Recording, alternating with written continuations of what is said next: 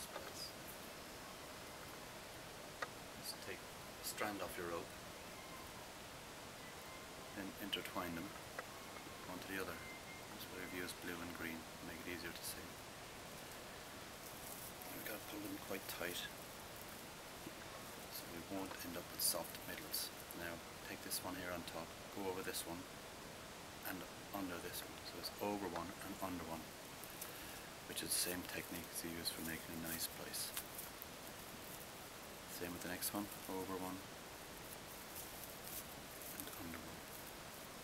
The remaining one is here. To take this strand here.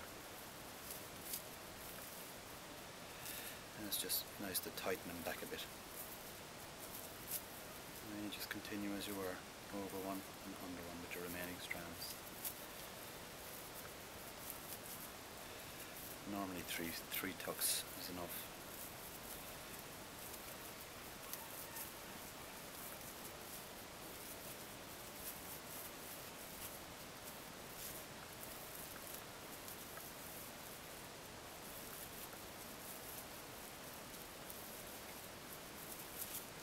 Same on the other side, over one and under one.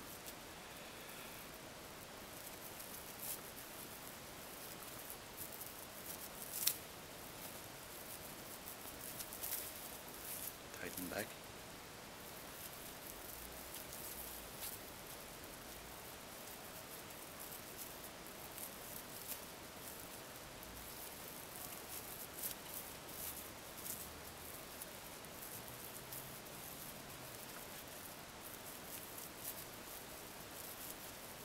Mm-hmm. that's basically it.